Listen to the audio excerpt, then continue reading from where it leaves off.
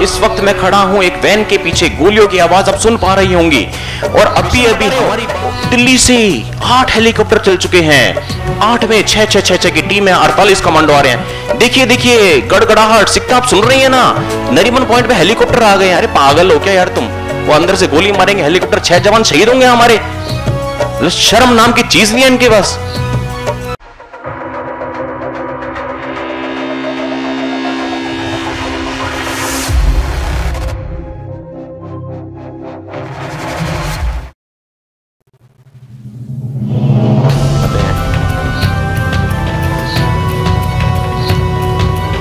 उसी मुंबई हमले के दौरान। 27 तारीख की रात को। अच्छा ये भी कहेंगे कि इनसे कोई मेरे पुराने कुंडली के कलेश होंगे एनटीवी के साथ में। ये भी थकते नहीं थे, गंद मचाते हुए, मैं भी थकता नहीं था मेल करते हुए। 27 तारीख की रात को एक बजे मतलब 28 की सुबह एक बजे, स्टूडियो में थी सिक्ता जी, जो कि इनकी रिपोर्टर हैं। एनडीटीवी की काफ़ी सालों से, अब तो सीनियर पोस्ट पे आ गई होंगी। और इनके जो ग्राउंड रिपोर्टर हैं, मनोरंजन भारती जी जो कि वरिष्ठ पत्रकार हैं सीनियर कॉरेस्पॉन्डेंट हैं। मनोरंजन भारती जी ने भाई बहत्तर घंटे टेरर अटैक को कवर किया, उसके लिए उनका बहुत बहुत अभिनंदन है। हमारा कि मुश्किल नहीं है, हम लोग के लिए माइक पे बोलना बहुत आसान है, पर उस वक्त मौत के सामने कवर करना मुश्किल है। लेकिन रात को एक बजे इतनी गैर जिम्मेदार हरकत सिर्फ़ और सिर्फ़ अपने टीआरपी के लिए, वो भी क्लिपिंग हमारे पास अवेलेबल है। मनोरंजन भारती सिक्ता को बोलते हैं। देखिए सिक्ता, इस वक्त मैं खड़ा हूँ एक वैन के पीछे। गोलियों की आवाज़ आप सुन पा रही होंगी।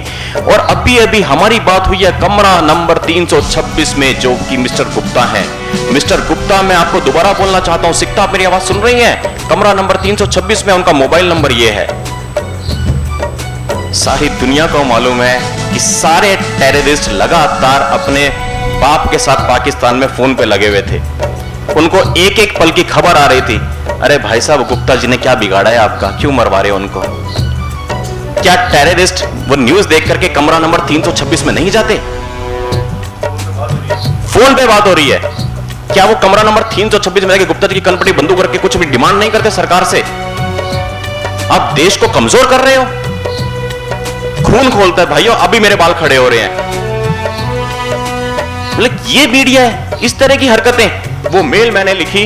अगेन सारे मीडिया हाउसेस को जितने भी हमारे जिम्मेदार प्रशासन के लोग हैं मुंबई पुलिस दिल्ली पुलिस उसके अलावा आईएनबी मिनिस्ट्री को इंफॉर्मेशन एंड ब्रॉडकास्ट मिनिस्ट्री को लिखी थी। इसके पहले वाली स्लाइड पे आइएगा जतिन भाई। Dear press people this this is broadcasting news and 5 minutes somebody okay next uh, I don't know how you treat my movie. Regarding terror attack the night of 27th okay? ये वही चीज़ बयान करी है इसमें कि सारे चैनल्स है कि ब्लडी टीआरपी रेस के लिए भाग रहे हैं। ये सिर्फ़ टीआरपी का खेल नहीं है। अब मिस्टर अग्रवाल मिस्टर गुप्ता आगे आएँगे आई इसमें जो लिखा था कि being a true Indian I am very much concern about my country I could have ignore this thing but I didn't because someday somebody has to take an initiative to change the things वो एक बच्चा, क्योंकि बच्चा बोलूँगा सात साल पहले थोड़ा और जवान था। तो उस वक्त पे जो आग थी, वो आग आज भी बरकरार है और मैं चाहता हूँ कि हम सब में वो आग आए। धर्म जी ने बहुत अच्छी बात बोली कि देशभक्ति का कोई पैमाना नहीं होता, ना ही कोई तुलना होती। कभी नहीं कह सकते कि शुभम बड़ा देशभक्त है, जतिन छोटा शेष बच्चा है, या संजीव जी बड़े देशभक्त हैं, जीतू भाई छोटे हम सब देशभक्त हैं। बात क्या है हमारे को सही दिशा में कदम उठाने की? भगवान ने हमें जो दिमाग दिया है, जो सीमित संसाधन दिया उन संसाधनों से सही दिशा में प्रयास करने की। लिखी मेल। कुछ नहीं पता था। कांग्रेस की सरकार थी, सबको पता उन्हें देश से कोई लगाव ही नहीं है। कोई उम्मीद भी नहीं थी। लेकिन चुप होकर बैठना कबूल नहीं था। एक कोशिश की आई मिनिस्ट्री को भेजी थी। ये मेल मैंने वापस आई, तारीख क्या थी इस मेल को भेजने की? 28 की बात है ना? शायद 28 को ही भेजी थी। रात को कांड हुआ था और 28 को ही सुबह उठते ही। मतलब रात को एक बजे ये चीज़ चली और पूरी रात सोया नहीं बैठ के मेल ड्राफ्ट करी, वीडियो अटैच किया, सब लोगों को भेजा एनबी मिनिस्ट्री को। और आज मेरे को बहुत ज़्यादा फक्र है ये बोलने में। 28 नवंबर 2008 को भेजी हुई मेल। साढ़े छह साल के बाद रंग लेके आई है। मोदी सरकार में लाइव टेरर अटैक पे प्रतिबंध लगाए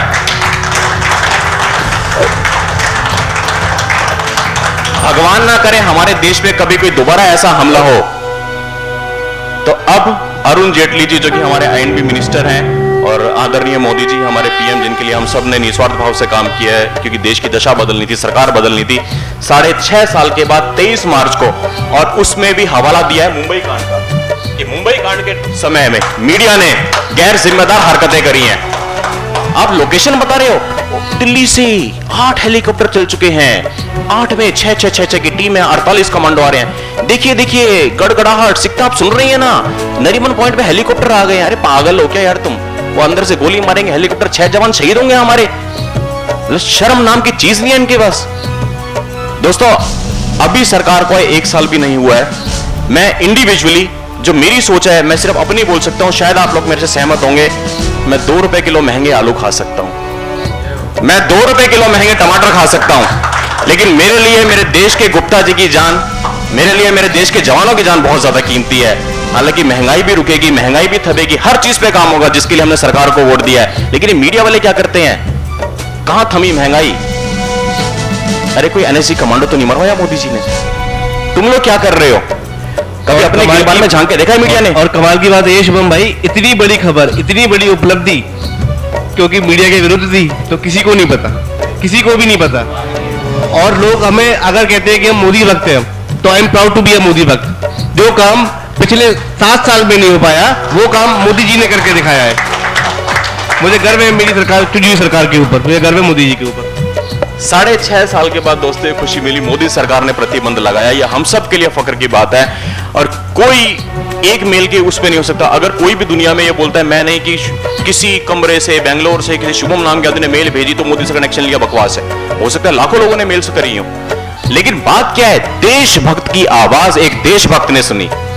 देशभक्त की आवाज़ एक देशभक्त सरकार ने चुनी। हमारे को कम से कम 10 साल 15 साल इस सरकार को देने हैं। जब हमारी ग्रुप की मीटिंग की तारीखें तय हो रही थी, मुझे अच्छे से याद है। राज भाई ने तीन तारीखें ग्रुप में डाली थी। 12 अप्रैल 19 अप्रैल और 26 अप्रैल। हम सब लोगों ने 19 अप्रैल चुना। आज उसका कारण बताता हूँ। मैं कई बार ग्रुप में बोलता हूँ, सही समय आने पे खुलासा करूँगा। और आप लोग में से कई मेरे से पूछते ही मैं निजी में पूछते हैं, भाई साहब का सही समय आएगा कब? तो आज खुलासा करता हूँ 19 अप्रैल का। ये 2019 की तैयारी है। ये 19 तारीख।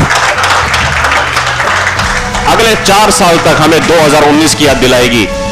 जब चुनाव की तारीखें आएँगी, तब आएँगी। जब टिकट बटेंगे, तब बटेंगे। लेकिन हमारे को कोई एमपी नहीं देखना। कुछ नहीं देखना। फिर से मोदी जी को लेके आना है। इसलिए हमने ना 12 तारीख करी, ना 26 तारीख करी 19 तारीख। 2019 इस 19 से हमें याद रहने वाला है।